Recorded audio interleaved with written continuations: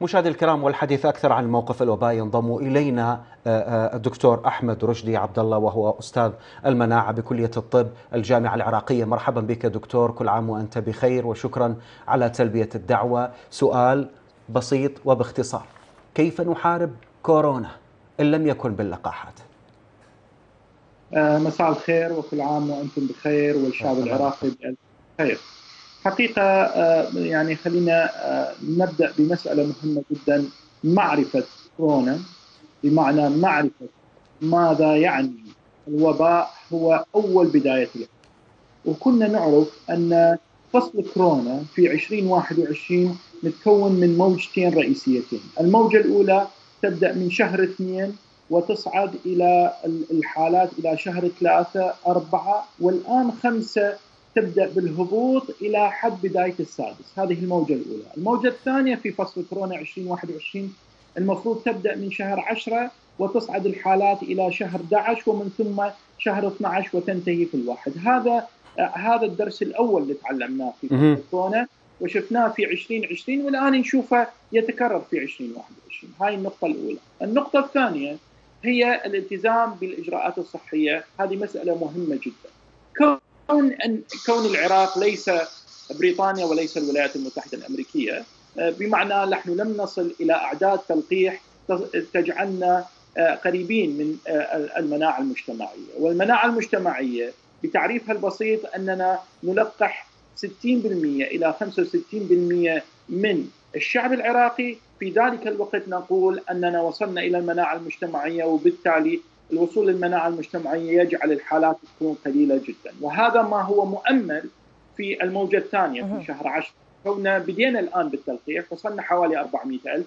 طبعا أنا ما أعتقد 400 ألف هو المطلوب. المفروض إحنا على الأقل في الستة أشهر القادمة نصل لحوالي مليون إلى مليون ونص إلى مليونين شخص. حتى نستطيع أن نحاول نسيطر على الوباء في العراق. بالتالي مثل ما قلت حضرتك اللقاح هو العلاج الحقيقي واللي راح يدفعنا باتجاه أننا نستطيع مقاومة هذا الوباء وإن شاء الله ننتصر عليه.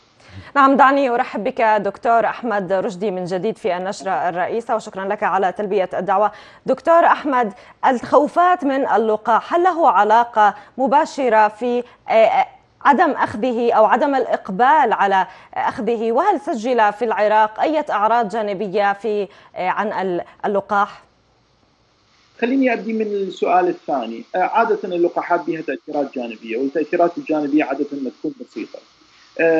تكون هناك درجة حرارة. ممكن مع درجة الحرارة يكون هناك ألم بالمفاصل. ممكن أن تحدث حالة من الصداع. هذا كله بعد 8 ساعات من أخذ اللقاح إلى حد 12 ساعة ممكن أن نلاحظه وهذا طبيعي جدا كون أنه مناعة الجهاز يعني الجهاز المناعي في الجسم يبدأ يتحسس لوجود هذا الجسم الغريب اللي هو اللقاح طيب. لكن النقطة المهمة في موضوع اللقاحات أن اللقاحات تحتاج إلى حملة حقيقية للتوعية.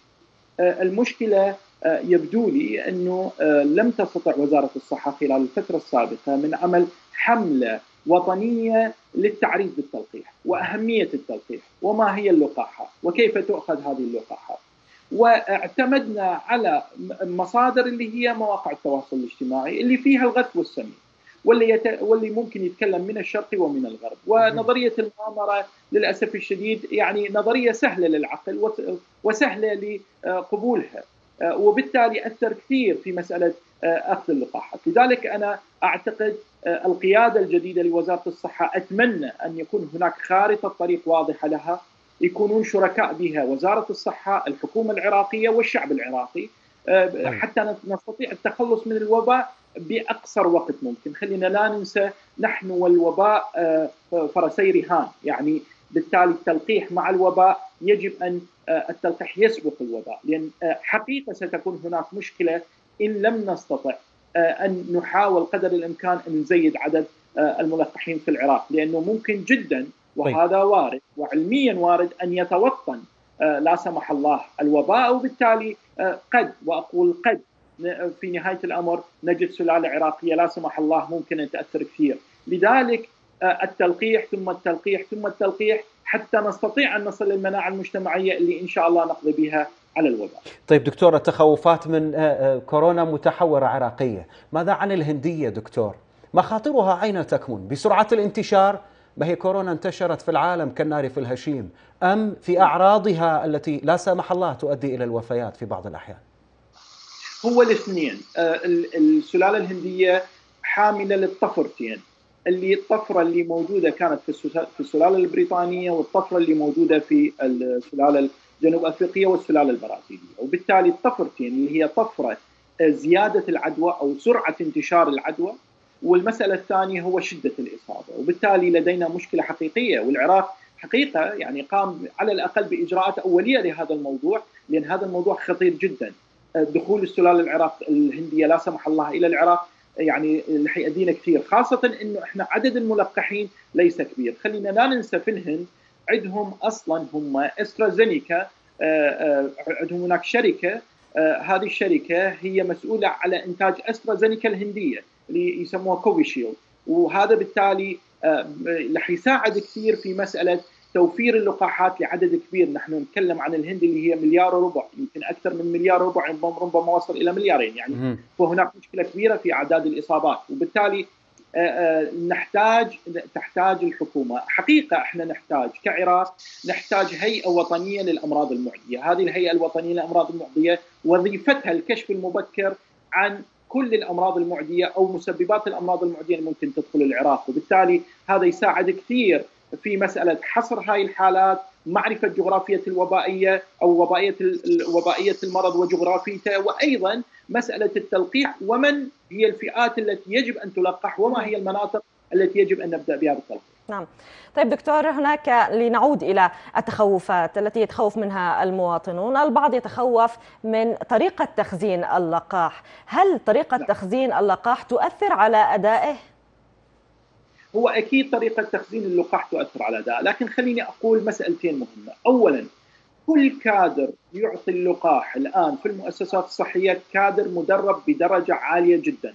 طيب. بحيث موزع المهام بشكل واضح، رح تشوفين موظف يسجل معلومات مالتك، موظف يقوم بتهيئة اللقاح آه ويعني تخفيفه والطبيب آه يسألك أسئلة على الاستمارة ومن ثم آه شخص يأتي ليعطي اللقاح واذا أمرأة تأتي أمرأة تعطي اللقاح. بمعنى أن هناك على الأقل منظومة حقيقية في إعطاء اللقاح وأيضا أنا لا أشك اطلاقا أن هناك منظومة حقيقية في خزن اللقاح. طيب. وأعتقد من أخذ اللقاح هناك الجرعة الثانية محفوظة له يأخذها في التاريخ الذي يرسل الذي يرسل له في الموبايل. عودة المدارس إلى استئناف الدوام سواء كان بالتناوب أو دوام كامل حضوري أو وجاهي.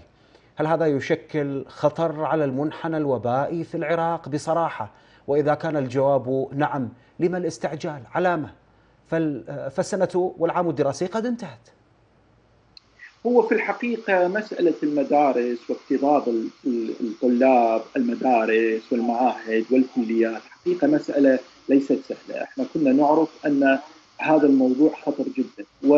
والشباب بالعموم يعني حوالي 80% من الحالات لا تظهر أعراضا لكن قابلية العدوى تكون بها كبيرة. وبالتالي هم سيكونون أدوات العدوى للأسرة هذه فكرة أن يكون هناك تعليم إلكتروني وأن يكون هناك حظر للمدارس وعدم الذهاب إلى المدارس. وفي الدول المتقدمة ما فعلوه إنه أي في حالة أوكي يوقفون الحظر ثم يأتون الطلاب إلى المدارس يتم فحص فحص الطلاب. آه وبالتالي معرفة إذا كانوا مصابين أم لا. وهذه نقطة حقيقة جدا مهمة. ما أعتقد العراق عنده هذه القابلية على عمل هذا الشيء. وبالتالي نعم. ربما الحظر وعدم ويعني أن يكون هناك تعليم إلكتروني وتعليم مدمج هو افضل الوسائل على الأقل حاليا أرجع وأقول عدد الملقحين قليل أه. 400 ألف من 40 مليون يعني لا شيء النسبة قليلة جدا وبالتالي طيب لا نستطيع أن نعتمد على فتح الحظر أو فتح التعليم بشكل مفتوح والإبقاء على التعليم الإلكتروني باعتقادي هو أفضل الوسائل. طيب دكتور الأطفال هل لا يزالون وسيط ناقل للفيروس؟ طبعا طبعا الأطفال وسيط ناقل للفيروس ربما يصابون لكن الإصابة تكون خفيفة جدا لكن ينقلون العدوى إلى الأب والأم وإلى الأسرة بأجمعها وعندنا حالات كثيرة في هذا الموضوع بالمناسبة ما تجدوه من أرقام مثلا اليوم 2000 البارحة 2000 قبلها 2000 خلينا ننسى إنه هاي أيام عيد والناس عادة لا تذهب إلى المؤسسات الصحية يعني لأي شيء مو فقط الكورونا لأي مرض معين إلى أن ينتهي العيد خلينا نشوف وراء العيد ماذا يحدث هذه واحدة نعم. النقطة الثانية هذه حالات مسجلة بمعنى أن المواطن يذهب إلى المؤسسة الصحية وليس. المؤسسة الصحية تأتي إليه نعم. وبالتالي إحنا نتكلم عن أعداد مسجلة لكن الأعداد المخفية قد تكون ضعف وضعفين وبالتالي إحنا نعرف كل زين أن العراقيين تمرسوا الآن كيف في كيفية علاج كورونا في البيت وبالتالي هذا يعطي انطباع أن هذه الأعداد ربما تكون هناك ضعفين أو ثلاثة لتكون أعداد حقيقية للإصابة ب نعم. فيروس كورونا. نعم شكرا لك الدكتور أحمد رشدي عبد الله أستاذ المناعة بكلية الطب في الجامعة العراقية وشكرا على تلبية هذه الدعوة.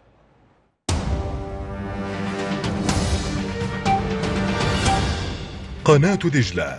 تكفل لكم حق الرد. راسلونا على news